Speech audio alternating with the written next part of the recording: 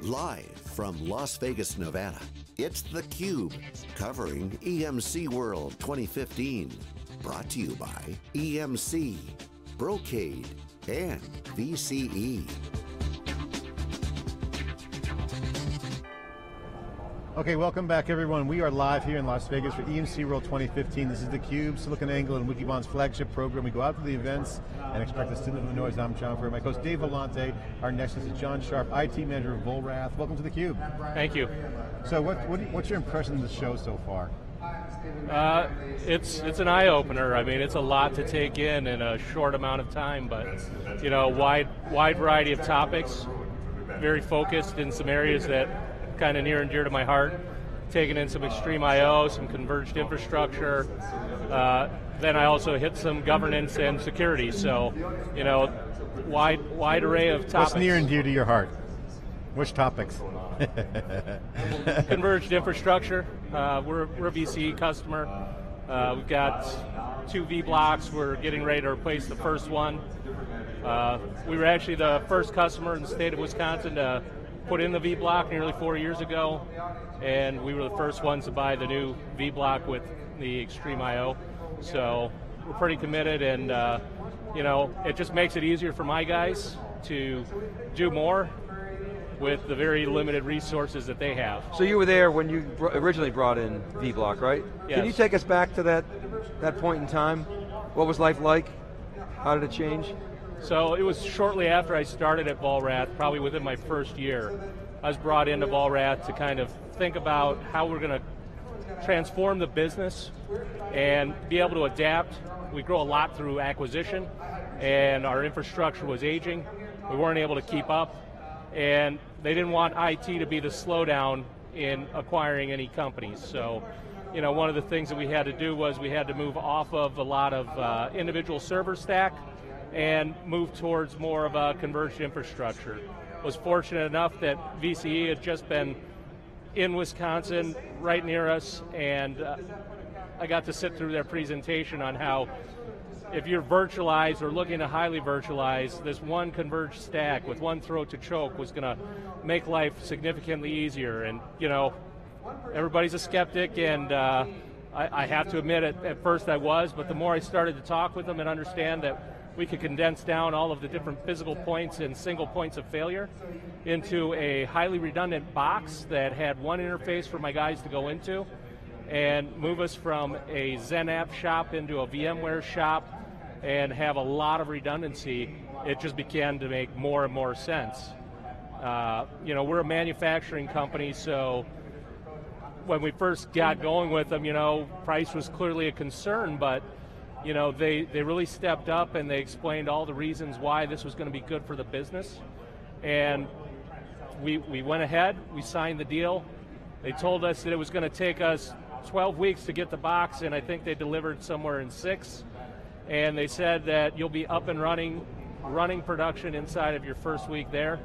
And we, we were definitely up and running by the end of that first wow, week. So good numbers. they made a lot of promises, but they delivered on every one of them and surpassed them. So, you know, that to me cemented some things for us. Fast forward a little bit, and the business continued to grow. We continued to acquire, and we didn't have to add infrastructure because the V-Block had so much horsepower and so much flexibility that we had to add a little memory to accommodate some of the servers, but you know, we were able to bring that on and support that workload and you know, we're bringing on new sites within a week, you know, get the get the network up and that was almost the longest part is getting those network links established, having the communications. From there, platform was solid. We tend to uh, centralize everything in our shop.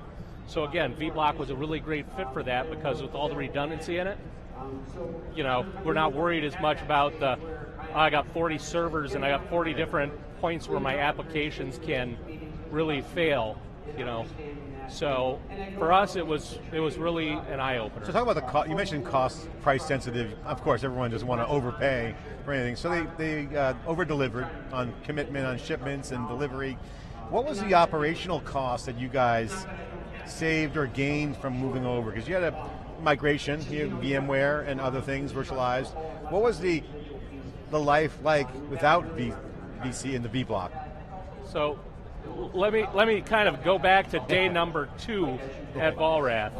It, it, was followed by day number one where I asked my admin, "What's your single biggest fear?" And he told me the email server. It's not really all that stable, and it could go down at any moment. It's smoking. I started on a Friday. Figured I'm going to ease into this, right? I get a call Saturday morning from this same system administrator the email server's down, the RAID card has gone bad, and I'm not sure we're going to be able to recover this anytime soon. Needless to say, he was managed to perform some voodoo, and he got it up. But you know, that same admin used to always tell me I, I, carry around a puke bucket because at any one moment I don't know what's going to go wrong, and I need to have that ready. Life after the vBlock, that that puke bucket is a mesh garbage can where it wouldn't help him anyway. he never cries for it anymore, and where he couldn't take the time to actually properly maintain his systems, he now has a system that's fully patched. It's got a release matrix so that we know that the patches that we apply aren't going to destroy the system and bring it to our knees. Versus in the old days, apply that patch and hope it doesn't take the application down and you know, those those days so are stressed gone. out, pins and needles. I mean, really crapshoot. Pretty much anything could happen. It, it could. Well, and that was all he did is fought fires and, every and, day. and, that boils down into availability issues because if you're not patching your system and right. and your you know bubble gum and baling wire, and, and then speed when you're acquiring companies. Um, so I get that. What about um, you mentioned cost before. I presume you were talking about sticker shock, right? The capex. Oh no, right? Natural. CFO gets you in a headlock and goes, "Isn't there another way?" It's one of my uh, first big purchases at the company, and I, I really wasn't sure yeah. how they were going to react to me coming in and telling them that we need to outlay a fairly large sum of money so that we have the agility to do what the business needs and not have to have them ask us to go and do it and then tell them, oh, well, that's going to take us four to six weeks to go out and get a server. And, you know, we, we built a business case is what we did. And, and it was really, we were in a transition at Vollrath. It's a traditional company in the food service industry.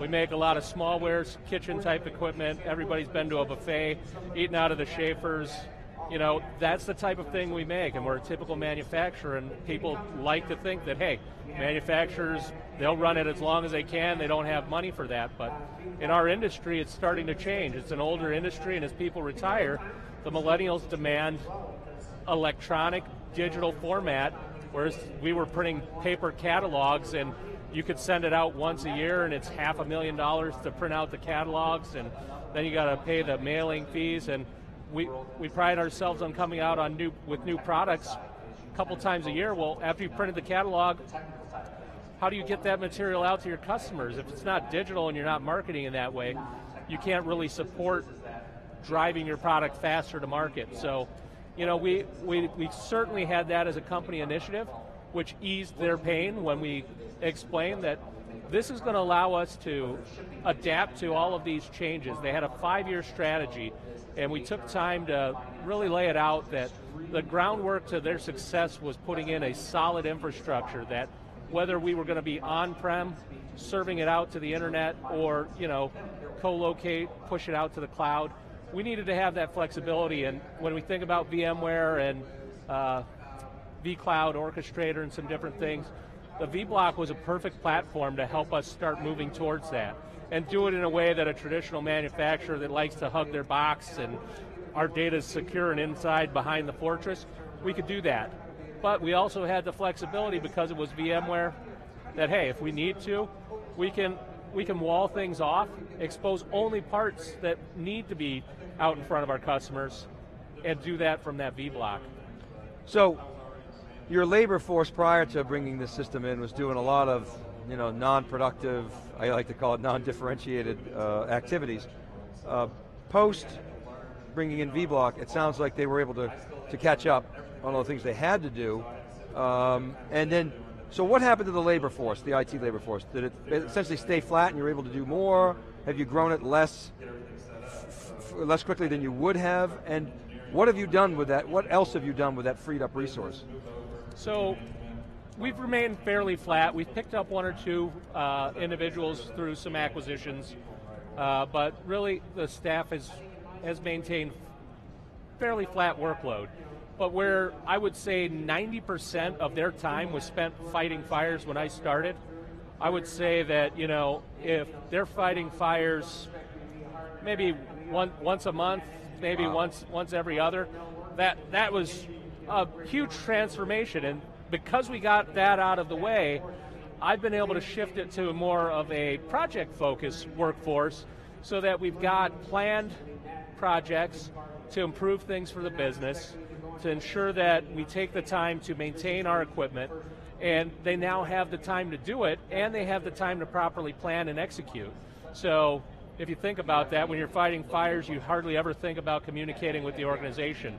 These guys, one of their big struggles for them was probably less about the, oh no, what am I going to do, as much as, oh, how am I going to tell the business, and ah, I feel really uh, uncomfortable because they were always used to the only communication that came out of IT was more bad news of yeah. this system's down and it's not coming available. Now it's we're going to be delivering this new service. This is the day that we're going to be rolling it out. We're going to run some internal testing, and we're looking for everybody to come on and help us load load test and uh, yeah. see if we can't break the system. And you know, we're getting feedback now on things to help improve performance, whereas before it was just how do we keep it running. So you know, people are giving us that yeah. feedback and we're able to impact their lives, which gives them more time to directly face the customer. Story. Okay, John, we're getting the hook here, but I want to ask you one final question. Obviously, a lot of goodness going on. You feel good. It's an aspirin, it's a vitamin, it's a steroid. You got a lot of good problem solved with the EMC, uh, V-Block, and other solutions. Now that you're at the show, I love that term headroom. What's next? Like, where do you, what are you getting uh, excited about here to bring back to add on to the uh, to give you more headroom for future proofing and or new new goodness? So you know, as as we look at it, there there's different things, XtremIO, and uh, really trying to boost database performance. Uh, you know, that's going to be huge for us. Right now, we run a lot of x86 apps and with SQL, and we're really positioning ourselves to transition our JD Edwards enterprise apps over there and further deliver more web class services out to our customers. And I think there's just a lot of great things coming out of EMC that are just going to help us maintain that solid uh, growth strategy. John, thanks for taking the time. John Sharp here, IT manager inside the Cube, sharing what's going on back in his world, some of the solutions, some of the goodness of uh, converged infrastructure and all EMC's products. This is the Cube. We'll be right back after this short break.